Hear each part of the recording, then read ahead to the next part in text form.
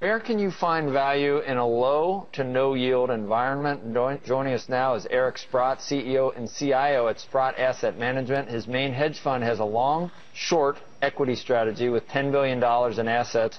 Over 80% of his fund is allocated uh, in precious metals. And uh, is there anyone that likes QE3 more than you, Eric? Uh, I don't think anybody has quite the concentration that we have, Joe. But we're happy to have it, by the way. yeah, happy to have the concentration and happy to have uh, uh, QE3. Um, at this point, I mean, do you ever take off some positions when, when you've gotten what you wanted? Haven't you gotten most of what you wanted already? And, and, and aren't you thinking about maybe standing to the side or no?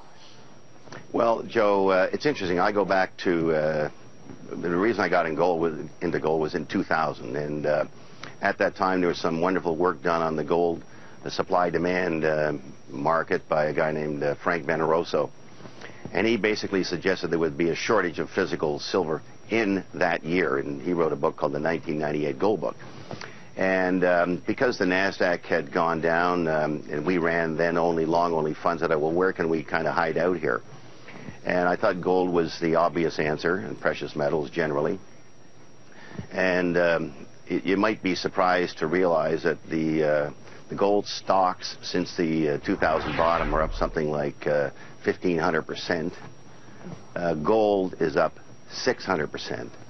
And in a way, I call it the great wealth re redistribution because those who have invested in gold and silver uh, have prospered uh, quite nicely. Uh, to your question whether I want to stay with the trade, the reason I would stay with the trade, and you mentioned QE3, um, I never would have imagined when I got involved in gold that I would have the benefit of kind of irresponsible money printing, uh, bank runs that are ongoing, as we've witnessed in the various countries in Europe. And those two ingredients, along with the QE3, which has been announced, I think will be a huge tailwind for um, for gold, uh, gold and other precious metals to go higher. You also um, point out that uh, uh, that central banks save the big banks, and that the financial system at this point, in your view, I mean, it might have been a temporary save, right? I mean, we're, we're still we still have a lot of, of risk that could come in the next few years, and, and gold answers uh, your need for uh, for covering your uh, strategy there, right? Sure. Well, I mean, I go back to I think one of the fundamental problems we faced in the last decade was the over leveraging of the banks which culminated in the failure of Lehman Brothers and uh, essentially the failure of many other uh, companies, but uh, they weren't allowed or weren't, weren't forced to liquidate. Lehman was uh, the one time that someone's been forced to liquidate, and we saw what nearly happened as a result of it. We've had many other um, companies that one way or another were either taken over, bailed out, Fannie, Freddie, AIG, various banks around the world, the Spanish banks, the Greek banks. Now we do it with governments. And I think all of those things suggest that uh, the financial system is quite destabilized. And um, I, I, agree with uh, Governor Plosser of the Fed that um, QE3 is not likely to work, just as QE1 and QE2 didn't work. When we look back at you know where we were and where we are, and we've had all this printing and all this deficit creation, and, you know, we really have accomplished nothing. In fact, we've gone into reverse in terms of job losses and numbers of homes sold in the year and cars sold in the year. So I don't see the, uh, the QE3 as being uh, substantive in terms of helping the economy. Eric, it's Neel Kashkari. As you, as a big gold investor, how do you think about the future of inflation? At PIMCO, we're always debating, is the future 3% inflation? Is it 4% inflation? With all this money printing in the U.S. and in Europe, there's a risk it's higher than that. Do you have a view? Sure.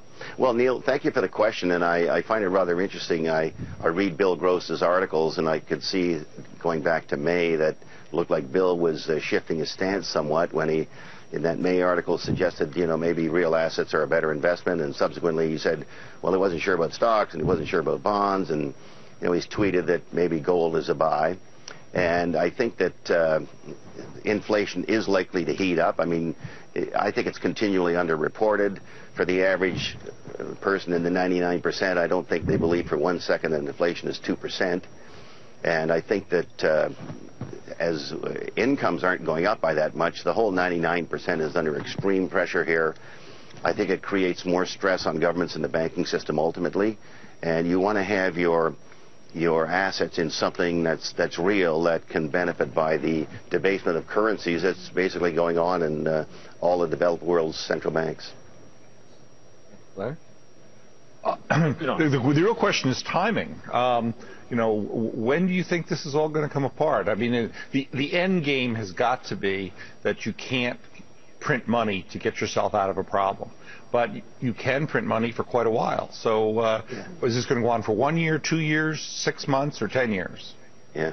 Well, it's a great question. And uh, when you ask the question, when do you think it's going to fall apart? I mean, I probably would have thought it would have fallen apart many years ago. Uh, but I never would have imagined that we would have bought into money printing. I mean, it just seems rather extreme to me that as investors we accept it as a palliative to the situation, which it certainly is not. So um, we can keep the markets buoyed. I think uh, Chairman Bernanke basically measures himself by how he deals with the stock market and how he deals with the housing market.